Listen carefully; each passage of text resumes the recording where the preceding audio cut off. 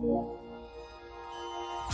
I'm Katrina Mather and I run the Body Toolkit retreats in the West Coast Scottish Highlands and uh, also in Glen Shee. The retreats are based on juicing, juice therapy, juice detox.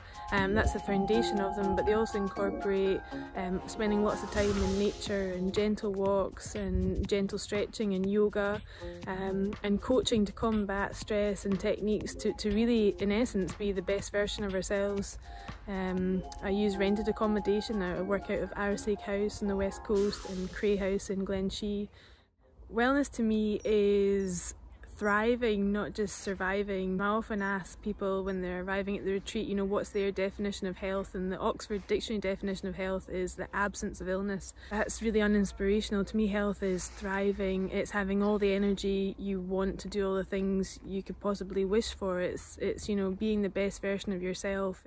I bring groups up um, for one whole week, um, once a month, to detox, de-stress, and, uh, and really recharge in essence. The people that come to my retreats are looking for, well, there's a variety of motiv motivating factors. They might be looking to lose a bit of weight, they might be looking to de-stress, or they might have a health condition that is sort of inspiring them or motivating them to take action and change. Um, typically people after the retreat find that they lose a bit of weight, you know, up to sort of seven pounds. Um, but that can be a, motivating factor but the nice thing for me is at the end of the week they're talking about how they are sleeping better they their digestion's better they have more energy um, and they feel inspired to have and lead a healthier lifestyle as a result of the retreats but one of the biggest ills of our time is that we are so disconnected from nature, we're disconnected from each other, we're disconnected even from our own bodies, you know. Um, and actually taking people into beautiful wilderness and, and remote nature, it just gives a sense of perspective.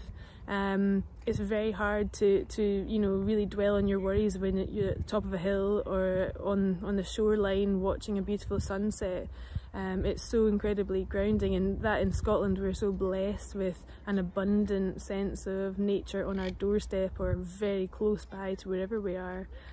In running the retreats, I've been attracting about 90% female sort of demographic who ordinarily wouldn't be coming to this part of, of the Scottish Highlands. And what's been really interesting for me is I've given them um, a sort of pull to come to the area. And when they're here they fall in love with it. You know it's so beautiful regardless of the season. And they're all talking about coming back with friends and family and loved ones. And I think the big draw is that health and wellness focus. Um, you know people are looking for they're craving time out. They're craving often you know a bit of weight loss or a bit of de-stressing. And ways that we can support people in doing that are you know encouraging people uh, to go out on local walks or you know recommending you know your favorite beach or a little quiet nook and cranny. We've got so much fantastic sort of natural produce and fresh food that you know eating well shouldn't be an issue.